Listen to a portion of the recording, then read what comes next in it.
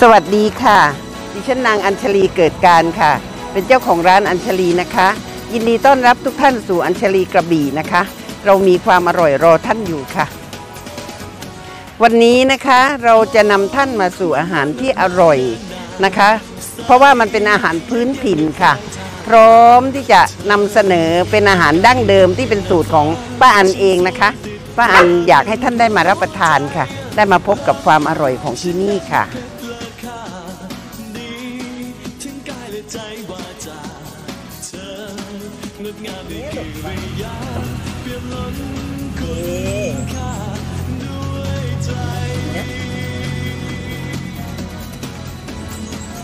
ค่ะ วันนี้นะคะอยากจะแนะนำซิกเนเจอร์ค่ะ อันนี้คือ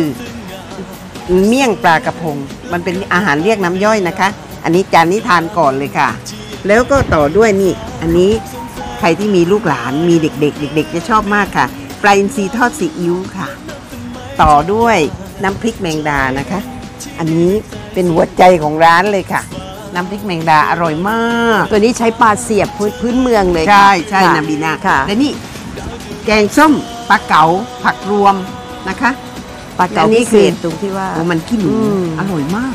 สดสดนะการันตีเลยค่ะ พี่บียกมาค่ะลูกค่ะอ่าอันนี้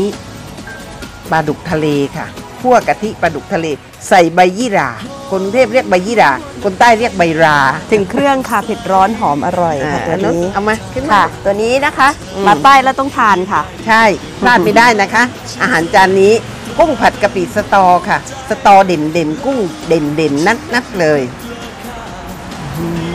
นี่เลยค่ะ นะผักยินดีสด ค่ะ นี่ผักสดนะคะ นี่คือผักของเราค่ะ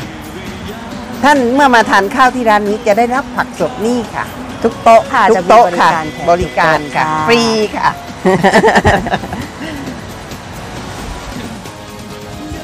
และนี่ก็คือซิกเนเจอร์ของร้านอัญชลีกระบี่นะคะ ค่ะ